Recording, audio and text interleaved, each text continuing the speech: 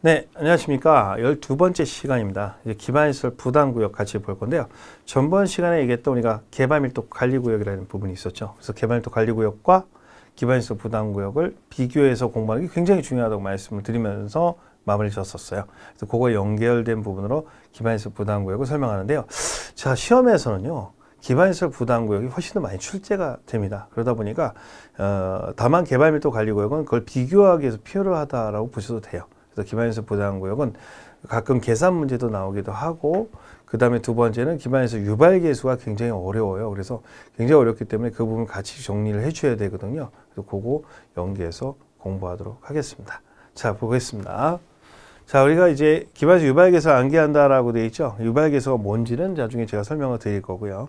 그 다음에 구역 지정 절차를 정리해야 된다고 했죠. 그래서 구역 지정 절차를 이 개발밀도 관리구역과 비교해서 정리해 놓으시면 될 것 같습니다. 자, 그래서 기반시설 부담구의 의의부터 들어가도록 하죠. 해 보겠습니다. 자, 기반시설 부담구역이란 자 보겠습니다. 개발 밀도가 외 지역, 내요 외요.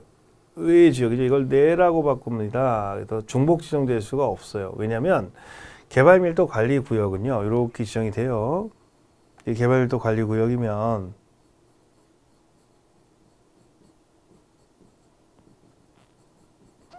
근데 여기 어차피 이제 어, 기반이 부족한 설치가 곤란하잖아요. 그렇다고 해서 이 동네에 공급 부족이 해결되지는 않잖아요. 그래서 어떻게 하냐면 이 지역의 두 군데 이제 요 지역의 1구역 기반 시설보다 1구역에서 그린벨트를 해제합니다.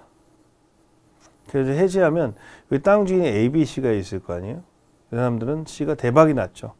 그래서 근데 그 다음에 문제는 그린벨트 해제했다고 해서 여러분이 알다시피 갑자기 뭐야 학교가 생기는 건 아니잖아요. 그래서 안 된다 해가지고 여기다가 뭐예요? 기반 설치 계획을 짜야 됩니다.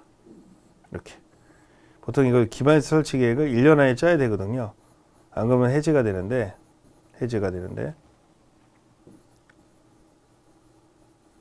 해제가 되는데 일단은 기본적으로 뭐야 어, 기반시설 부담 구역을 만들겠죠. 예, 거기서 이제 기반에 설치를 하고 그다음에 여기 군부대가 있었어요. 네, 군부대가 있었어요. 이 군부대가 있었는데 이 군부대가 있었던 지역도 군대도 이전을 시켜요. 군대도 이전을 시키게 되면 빈 땅이 생기잖아요. 그렇죠. 이 빈 땅에서 그냥 노는 게 아니고 역시 어, 여기서 기반시설 부담구역을 지정하게 됩니다. 그 다음에 여기다 기반시설 설치 계획을 또 짜는 거예요. 그래서 여기서 이 토지주가 만약에 EFG가 있다. CT, DE, F라는 사람이 있으면 이 DF라는 사람에게 부담금을 걷는 거예요. 부담금을 걷어서 이 동네에서 뜯은 건 여기다 쓰고 이 동네에서 뜯은 ABC 뜯은 건 여기서 써서 특별회계를 만들어요. 특별회계라는 건 딴 주머니입니다. 특별회계를 만들어서 이 돈을 걷어서 이 동네에 도로 기반 설치하는 데 비용을 쓰게 되는 거예요. 아시겠죠? 이런 것들 이야기하는 겁니다. 그래서 이건 설치가 가능한데 돈이 없는 거예요. 돈을 뜨는 거예요. 그래서 기반시설 부담구역이란 이럴 때 외의 지역으로서 개발로 인해서 도로, 공원, 녹지 등의 대통령이 정하는 기반시설 설치가 필요한 지역을 대상으로 대상으로 기반시설 설치하거나 그죠? 대한 용지를 확보하기 위해서 지정 고시하는 구역을 말한다. 이렇게 되어 있는 거예요. 네, 됐어요. 자, 그러면 도로, 공원, 녹지 등 대통령이 정하는 기반시설이라는 게 있는데요. 각 호의 기반시설이 있어요. 그럼 어떤 기반시설이 들어가느냐라고 하는데 도공록이 들어가고 도로, 공원, 녹지는 들어가야 되죠. 기반시설로서 우리가 살려면 아빠가 출근할 때 뭐가 필요해? 기반시설이 있었고, 그죠? 그다음에 공원이 뭐야? 임산부나 우리 어린이들이 놀아야 되니까 그 공원과 녹지는 아이하고 뭐야?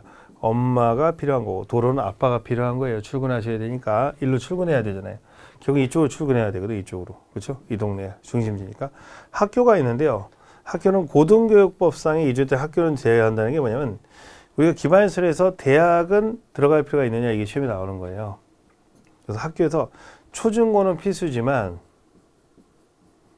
필수예요. 필수인데 그래서 대학은 고등교육법상의 고, 대학이 대학이 대학. 대학은 제외합니다. 됐어요? 대학은 제외한다. 대학은 안 돼. 시험이 잘 나와요. 대학은 들어봐요. 그 다음에 수도는 있어야 돼, 없어요? 상하 수도는 있어야죠. 상하 수도 있어야 되고. 그 다음에 쓰레기 버려야 되잖아요. 그죠? 예, 애들. 그런 것들이 들어가는 거예요. 그래서 시험에서는 먼저 아셔야 될거 뭐냐면 대학은 기반시설 부담구역에 들어간 기반시설이 아니라는 거예요. 알겠죠? 네, 됐습니다. 자, 그렇게 해서 정리하면 되겠고요. 그 다음에 기반시설 부담구역의 지정인데 지정권자는 똑같아요. 누구예요? 특광, 특특, 시군수죠. 뭐하고 같죠? 우리가 개발밀도 관리구역과 같아요. 그래서 도시관이 원칙적 위반권자. 그래서 다음에 어느 해당하는 지역에서 계속 지정해야 한다. 해야 한다. 필수에 필수. 그래서 20% 한번 써보세요. 20%. 아까 이 개발밀도 관리구역하고 비교해야 되는데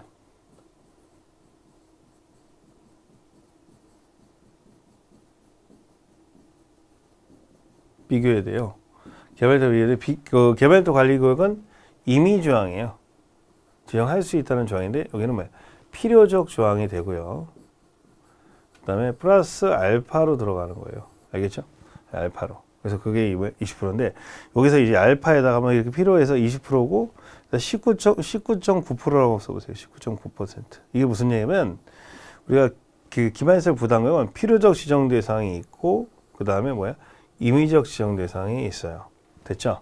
자 그러면 한번 설명이 들어가게 되는데 이거 잘 아셔야 돼요.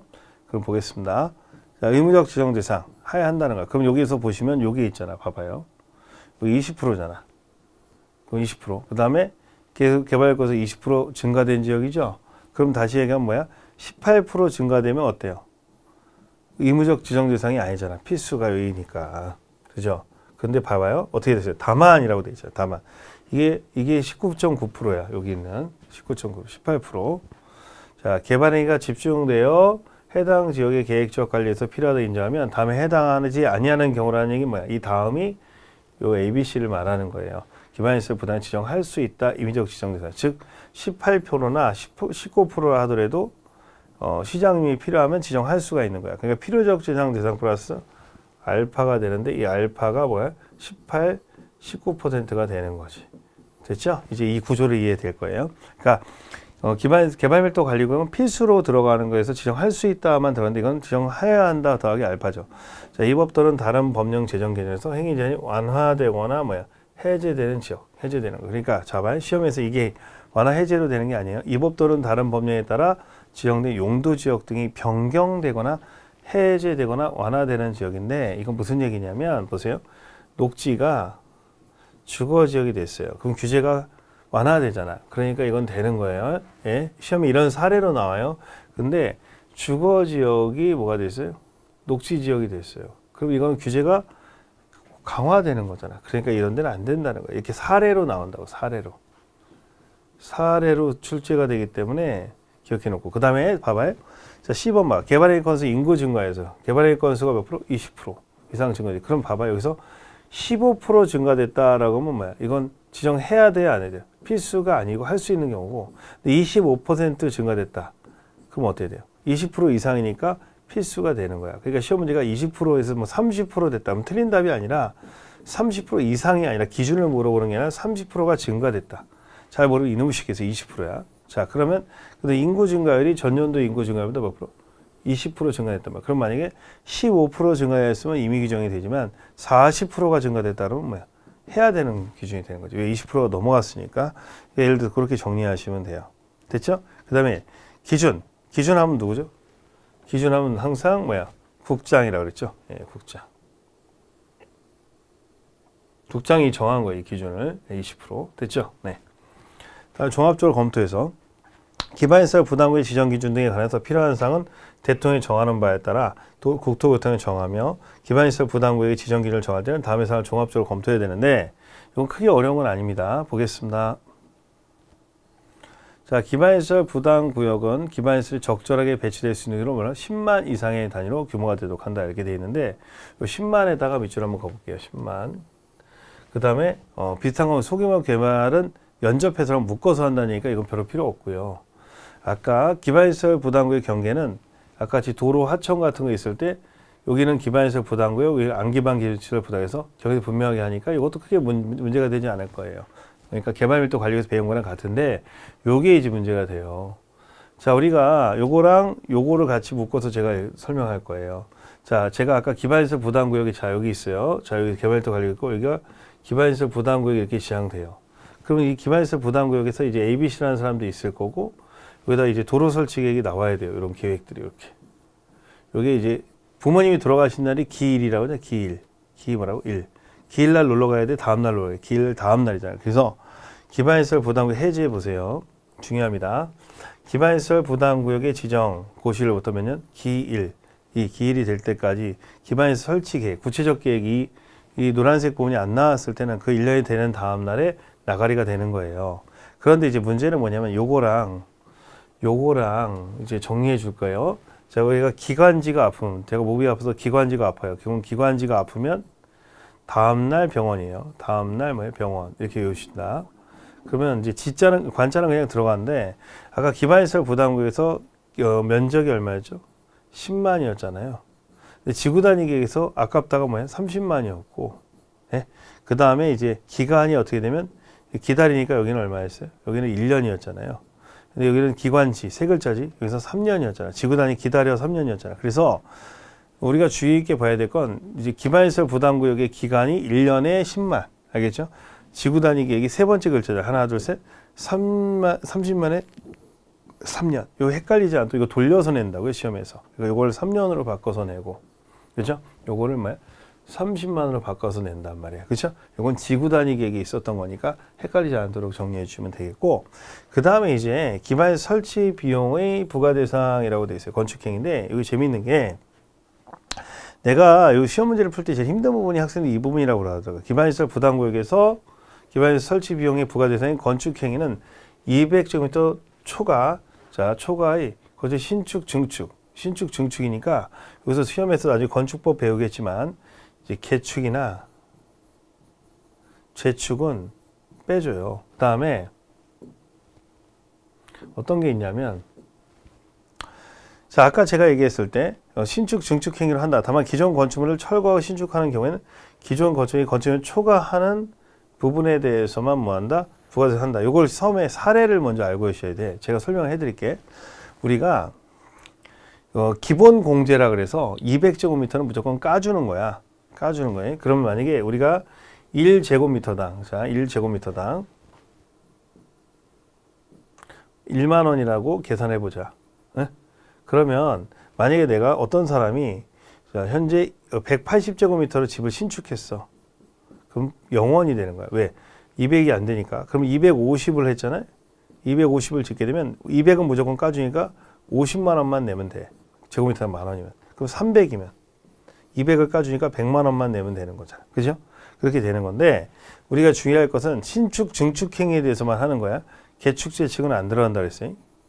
그러면 이거는 이제 개축, 재축은 수리하는 거니까. 근데 증축했을 때 증축한 범위가 되겠지? 이거 한번 생각해 보자.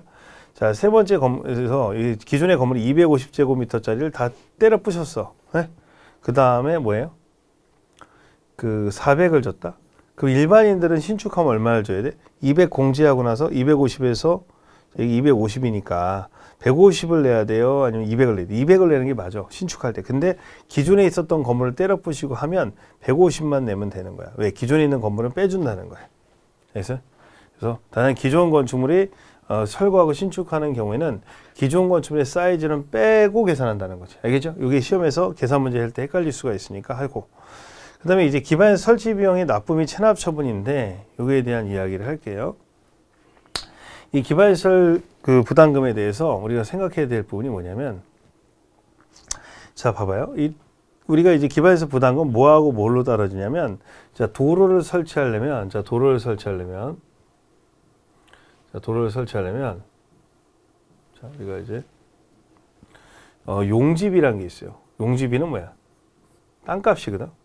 그 다음에 이제 표준 시설비라는 게 있어요. 표준 시설비는 이거는 이제 아스파, 아스팔트, 아스콘 값이 아스콘. 그다음에 용지비는 땅 값이고. 그럼 우리가 병원에 입원하면 진료비랑 약제비가 있을 거 아니에요. 입원비랑. 그럼 그걸 도하는 거야. 도하는 거. 도하는데 이 용지비는 지역마다 같을까 다를까?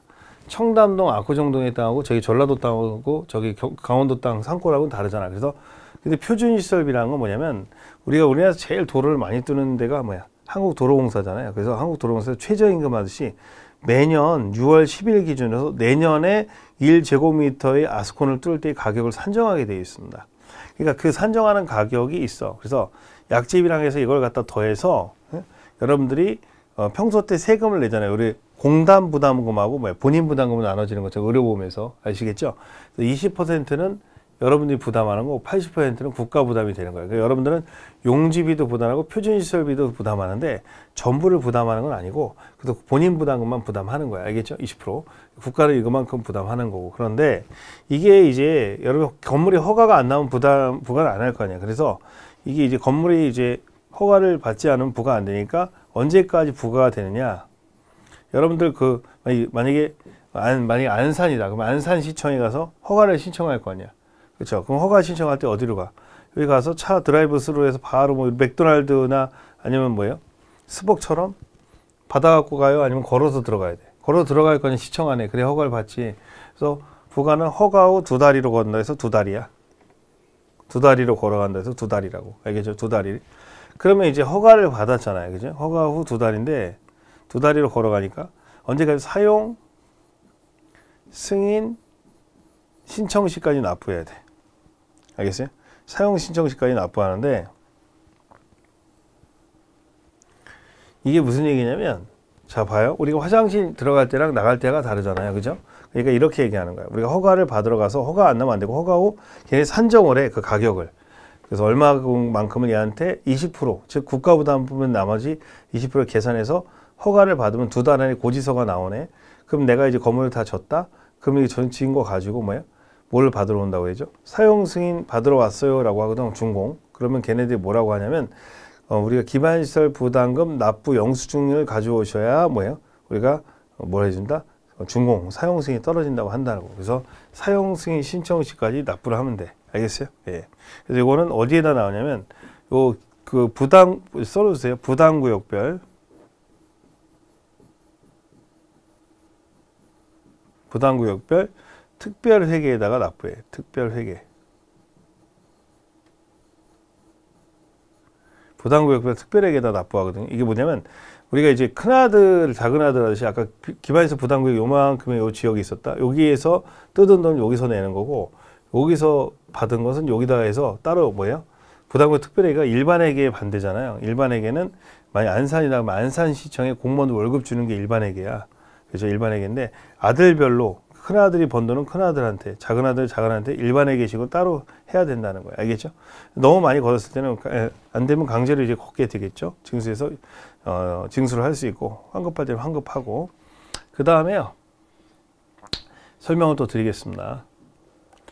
그 다음에 이제 기반시설 설치명의 관리 및 사용인데 아까도 말씀드렸지만 여러분들이 이렇게 생각해 볼 필요가 있어요. 어, 기반 설치 병의 관리 및 운영을 위해서 기반에서 부담 구역별로 특별회계를 설치한다는 건 뭐야? 딴 주머니를 찬다는 거니까 그러니까 요 지역이 이렇게 있었을 때 요 지역에서 요만큼 해서 여기서 A, B, A, B가 된 돈은 A, B한테 쓰는 거고 그다음에 B, C가 한 거는 B, C한테 쓴다는 거예요. 사용해야 된다. 알겠죠? 예. 다만 해방 기반시설 부담구역에 자 특별회계에다가 하는 거고 자 중요한 물납도 가능하냐 이게 시험에 나오는데 물납도 중요한데 물납하고 분납이 가능합니다. 써놓으세요. 분납이 가능한데 이제 이제 무슨 얘기냐면 내가 여기다 이제 건물을 지려고 해요. 여기다가 기반시설 부담구역에서 자 B야 B인데 내가 B인데 B가 여기다 건물을 지려고 해. 근데 우리 아버지가 나한테 물려준 건 뭐밖에 안 물려줬냐면 땅밖에 안 물려줬어. 땅 부자야 우리 집은. 근데 이제 내가 여기다 건물을 지려면 기반에서 부담금을 내라고 하는 거지. 그 부담금을 받아갖고 뭐 한대? 여기다 도로하고 학교 같은 거 진다는 거야. 그럼 내 입장에서 뭐라 겠어요? 야, 그러면 내가 어차피 내가 가진 건 땅밖에 없으니까 이 학교 부지랑 도로 부지 내가 땅으로 내놓을게. 그러니까 뭐야? 결국 무슨 얘기야? 물납하겠다는 거지. 지금 물납 가능해. 물납이 가능한 불가능한 시험에 나오게 되니까 가능하다는 거예요. 기반시설 설치 비용은 해당 기반시설 부담구역 안에서 기반시설 설치 또는 그에 대한 용지 확보를 위해서 사용해야 돼. 다만 해당 기반에서 부담 구역에서 곤란한 경우에는 자 봐봐요. 자 우리가 너와 나의 연결고리라고 하는데 보겠습니다. 만약에 지금 현재 여기가 이제 기반시설 부담구역 1번 여기가 기반시설 2번이라고 치자. 근데 여기가 이제 개발밀도 관리구역이라고 했지. 여기 코아가.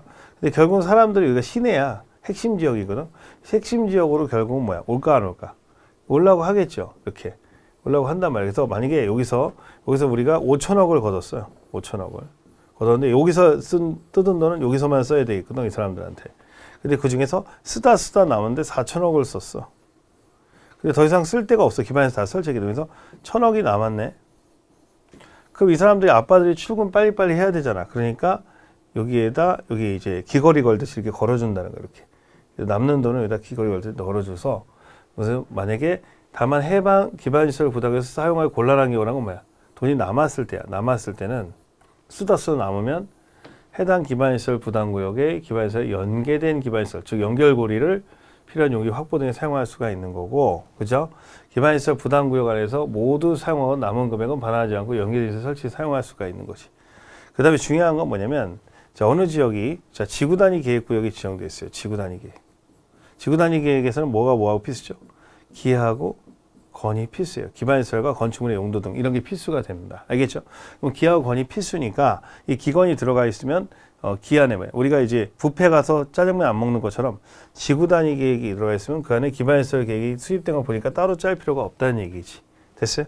자, 그렇게 이제 정리하면 되겠고 그 다음에 이제 우리가 기반시설 유발 개수라는 부분을 설명드려야 되는데 이것만 하시면 이제 됩니다. 유발 개수를 하는 게 뭐냐? 자, 여러분들 봐봐요. 저는 독거노인이야. 어? 독거노인인데 시험에 이게 출제가 되는데 먼저 미리 빨간색으로 시험에 잘 나오는 것만 먼저 정리해 놓을게요. 이 유발 계수를 물어보거든. 자, 보세요. 그 다음에 요거 요거 요거 요거 자, 이게 A 코드라고 할게요. A 코드고 나중에 건축법을 공부하면 되게 쉬운데 이게 이제 일종 근생하고 연결되니까 예, 여러분들이 여기 A 코드야 이거 A 코드 A 코드 같은 거야. 자, 그 다음에, 음, 내가 파란색으로 하는 것들이 이제, 이제 별 의미가 없는 것들이야. 자, 여기서, 이렇게, 봐봐요. 요렇게, 요렇게, 요렇게, 요렇게, 요렇게, 요렇게, 네? 요렇게, 요렇게, 네? 그 다음에 요렇게, 네? 요렇게, 요렇게, 요렇게, 요렇게, 이렇게 돼 있어요. 그 다음에 이제 내가 노란색으로 하는 것들이 시험에서 많이 나오는 것들이야. A 그래서 자 요거. 그지? 요거. 요것도 같이 이제 연결해서 외울게요. 요거 요거. 자 A 세생각. 그래서 B군이야 B군. B군은 이제 잘 봐야 돼 B군. 자 보세요. B군 B군. 그지? B군. 이것도 B군이야. B군에 들어가는 거지. 됐어요? 자, 그러면 이제 이것도 B군이야. 이게 무슨 얘기냐면, 봐봐요. 우리가 일상적으로 봤을 때 유발계수라는 게, 어, 이렇게 생각하시면 돼요. 그러니까 단독주택 사는 사람들은 독거노인이 혼자 살면 사람들이 많이 안 오니까 한 7천 원 정도 내면 위락시설에 들어가는데 2만 천 원 낸다는 거야. 유발계수가 다르다는 거죠. 알겠죠? 액수가 다르다는 거야. 같은 평수라도. 외우는 방법 한번 보자. 자, 우리가, 어, 우리가 우리 집에 땡칠이란 강아지가 있어. 땡칠이. 강아지가 돌아다니는 땡칠이 강아지가 돌아다니는 데가 다예요. 단독주택. 다 모르면 다 0.7이 제일 많잖아.